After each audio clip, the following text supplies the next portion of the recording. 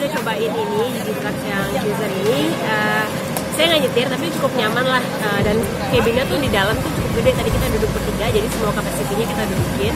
Emang di uh, di cabin ini kan buat tiga orang jadi kebetulan saya duduk di tengah.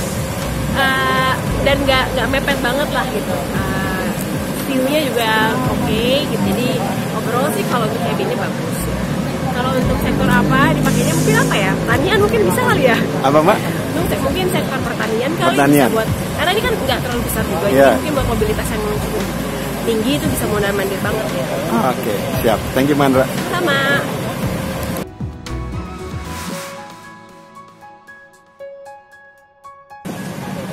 impresi dari saya setelah test drive di Trust Cruiser ini pertama tuh mesinnya dulu yang paling berasa ya.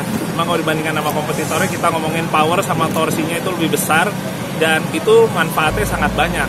Kita bukan ngomongin lebih cepat sampai ke tujuan ya untuk kita mengantar barang, tapi juga selama perjalanan pastinya itu akan jauh lebih aman. Dengan kita membawa bobot besar, torsi besar itu sangat membantu. Dan karena ini paling lebar, yang saya rasain untuk manuvernya pun juga lebih enak. Karena pada teorinya itu semakin lebar, itu akan semakin stabil untuk kita manuver. Jadi secara overall sih kombinasi tenaga sama juga lebarnya, stabilitas itu emang jadi salah satu keunggulan di cruiser ini.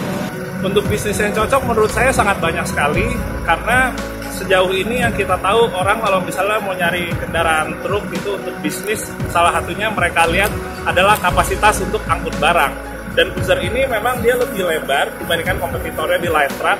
Jadi kalau kita ngomongin untuk kapasitas barangnya itu jauh lebih banyak bisa dibawa untuk sekali tripnya. Dan itu uh, pada akhirnya bisa menjadi salah satu uh, konsiderasi orang untuk menggunakan truk ini di berbagai bisnis yang mereka punya.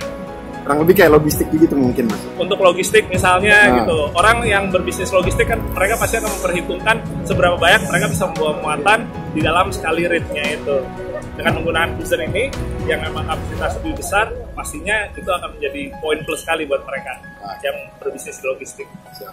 thank you mas Ejen siap sama-sama